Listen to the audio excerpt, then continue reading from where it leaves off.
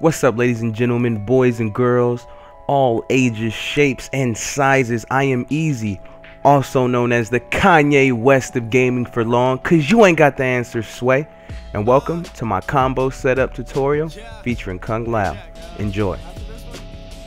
Alright, so to do this tutorial, basically you're gonna need one move, technically, one combo, and that's your heavy mountain combo, which is a back three, two, one. Looks like this.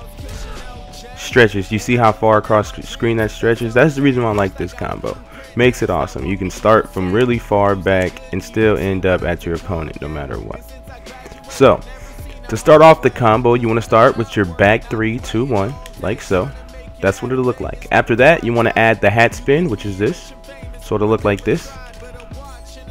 Boom. In that brief moment, they're going to stay levitated for a second. And when they do that, you're going to want to follow up with the same string of the heavy mountain, which is that back three, two, one.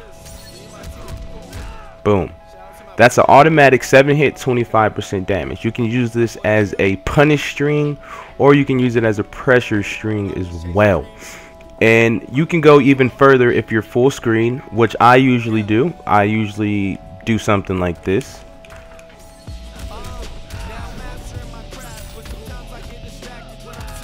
For easy, what is that, 38? 38% damage, one bar. So if you want to spin the bar, you can go as far as that. Also, it also carries into the corner when you want to add pressure to an opponent.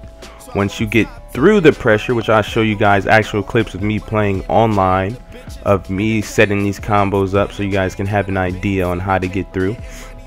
Um, the corner is nice. If you ever get somebody into the corner, it works here as well. You can actually add in a normal spin with that into a grab. The punch isn't mandatory. I just do that. And that's 35% no bars. So let me go ahead and show you guys how to get inside using the what you guys all been waiting for. This is how you pressure and get the combo to hit. Two things you need to know is the hat spin is minus three on block, so a person's able to poke you out, which is perfect for how this plays in. And the enhanced hat is 27 on block, which is positive, meaning they're going to be stunned a little bit longer, and they won't be able to do any type of move after the block. So what I like to do when I'm doing my pressure setting it up I start off with the regular hat spin, allow them to poke out and feel confident about themselves. The next time I go in, I like to do the block, uh, the orbiting hat, the enhanced version, it's 27 on block. Keeps that stun so you can do a combo or finish your combo once they attempt to actually get in. So I'm gonna show you guys that you can poke out right now with the AI, and then once I'm done with that, I'm gonna show you that you can't get out of the orbiting hat and I'm going to show you my online clip of me doing the same to another person. So you guys, I'm helping you guys out tremendously. So let's get started. Hold the block, hold the block, wait for the hat, boom, down three. See, you can poke out. Now, I'm going to do it again and wait for the enhanced orbiting hat. Trying, nothing came out. As you can see, the left hand of my screen, I was mashing the B button, the down B. You just can't get out of it. Uh, now, take a look at this online clip that I actually got, which is very similar. Alright, and remember guys, if you're going to do this combo, so you can start mid-screen if you like, as I did here. Did the regular hat, let him poke through.